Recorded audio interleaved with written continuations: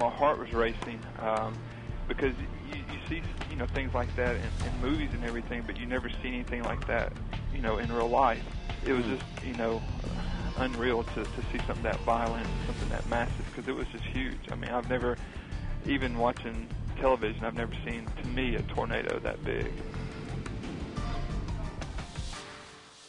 Was like a solid monster. Is what I what I what I what I would explain it as. It, it it was full of lightning and it was just moving at a steady rate, and it was just demolishing everything in its path, just debris going everywhere. Just complete destruction.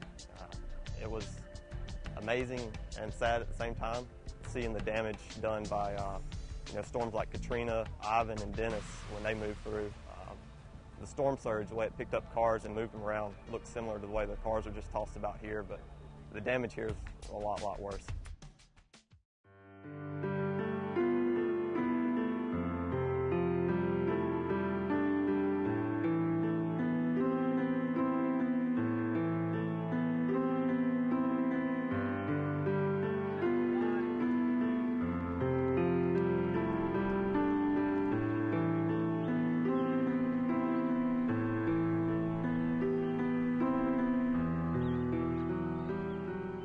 I mean, this is all I have is what I have on, and, and like I said, I just went to my parents because I couldn't get the radio to work, and it made me mad. I just can't believe this.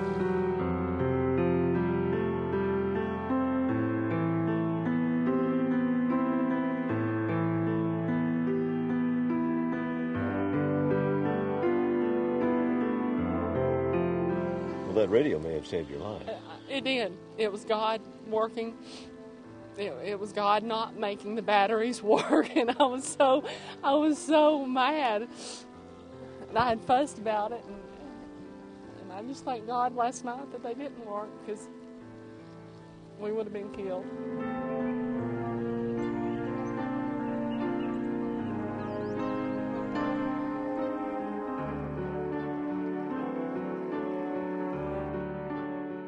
One of our neighbors said, Well, I'm going to tough it out, you know, I'm going to stay home. Do you know where that neighbor is? Sure. Just want to know, you know, is everybody okay? That's pretty much it. Because you can always rebuild, but lives you can't get back.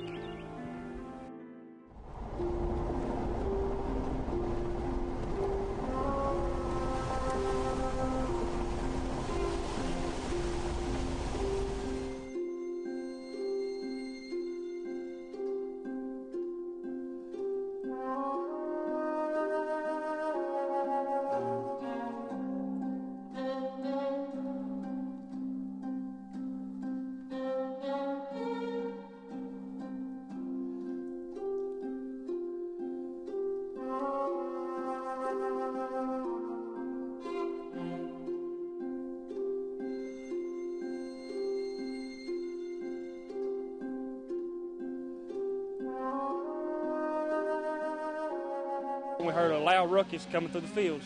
Walked outside, opened the door, back door, and looked out. It was coming, coming to our house. I couldn't compare it to nothing that I've ever seen in my lifetime. My dad's 41. He said he couldn't compare it to nothing in his lifetime. It was bad. It was terrifying.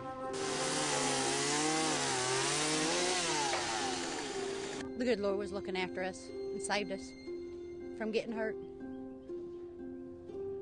I mean, it's terrifying to look at it, and it's terrifying to uh, to know what could have been. But all you can do is just thank the good Lord that you're alive. You know, that's pretty much all you can do.